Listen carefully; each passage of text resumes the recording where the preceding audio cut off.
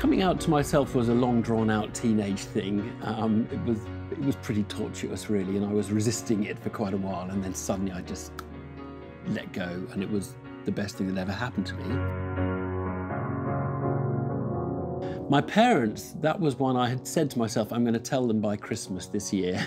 and at three o'clock on Christmas afternoon, I still hadn't done it. So that was, I was like, okay, it's got to be now.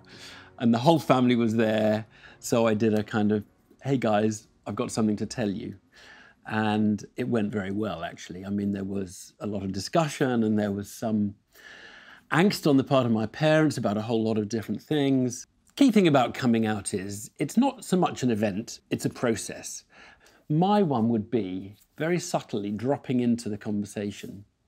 My boyfriend and I went to see the James Bond movie last weekend. Have you seen it? You know, and then there will be a little flicker of, of, of, of did he just say my boyfriend and I?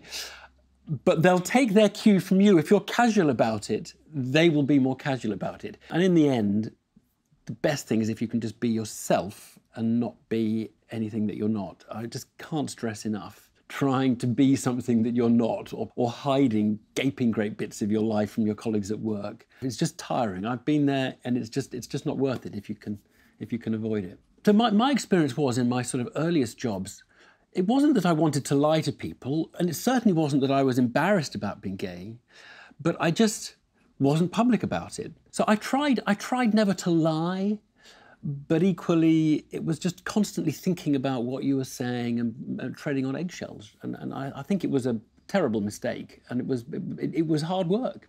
The issue of mental health, good mental health, and being authentic and true and comfortable with yourself are inextricably linked. So I think it's much easier to have, if you like, a sound, comfortable mind when you are one person and you know what that person is and you're comfortable with it.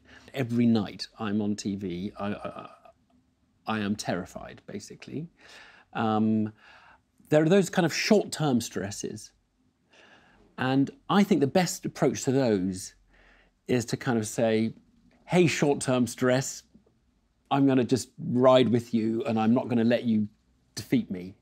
The harder ones are the more chronic stresses, the long term stresses, and there'll be feelings of loneliness or discontent or, or, dissatisfaction or something even more chemical in the brain that's causing, causing problems. And I, I think in some ways those are more difficult, and those ones you need to, you know, basically to get help, to talk either to friends or counselors or professional help. But I think the best advice is to try and just ride the ups and downs um, and to realize that, you know, you're going to have good days and you're going to have bad days and not to let the bad days get you down too much. So disclosure is more than just a gay thing. And the principle is, I am what I am, and I want you to know what I am, uh, and I want you to be comfortable with that and to, to accept me for that.